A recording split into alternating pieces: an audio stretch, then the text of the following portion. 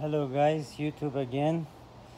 This is the Nissan Versa 2012 13, the sedan 1.6. I really couldn't find anything on YouTube. Um, doing the shocks assembly. It's very easy.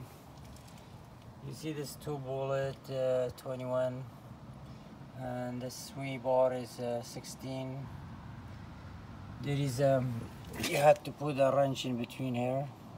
Just 16 as well. And same thing you need uh, socket nuts and wrench both sides. Because I did my um, arm control and alignment then it end up saying your shock is no good. I'm not so sure you know if it's true or not but I have to do it. I got used one here for a hundred bucks.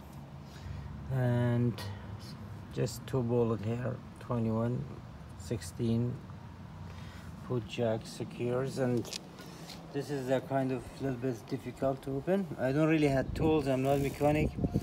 But you need 16 in here with uh, some star um, goes inside because it spins around.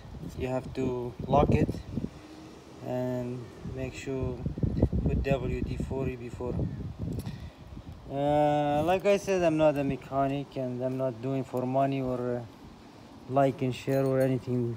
Just doing to help people uh, as much as I can. Now everything's open.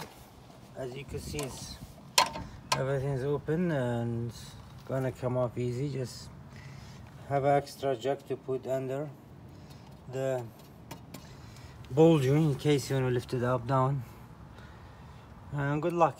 Thank you